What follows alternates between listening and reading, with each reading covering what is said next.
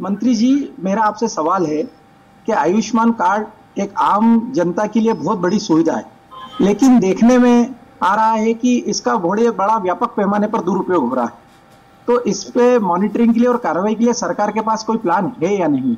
नहीं, और दूसरी बात है कि आयुष्मान कार्ड और ये एक गरीबी रेखा के नीचे के लोगों के लिए सुविधा है तो आम आदमी के लिए मध्यम वर्गियों के लिए ऐसी कोई योजना लाने का सरकार के पास कोई प्लान है क्या?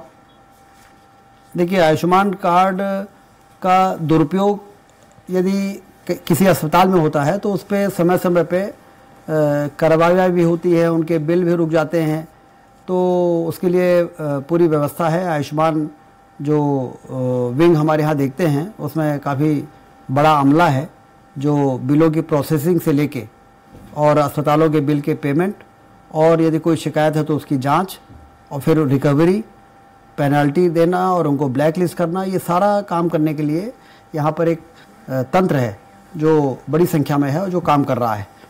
आपका दूसरा जो सवाल है कि आयुष्मान योजना बहुत अच्छी योजना है और उससे गरीबों को फ़ायदा हो रहा है, लेकिन ऐसा, ऐस- लोग जो आयुष्मान कार्डधारी नहीं हैं, उनके लिए क्या हो सकता है? तो उनके लिए तो एक, क्योंकि आयुष्मान कार्ड ने एक बड़े वर्ग को कवर किया हुआ है।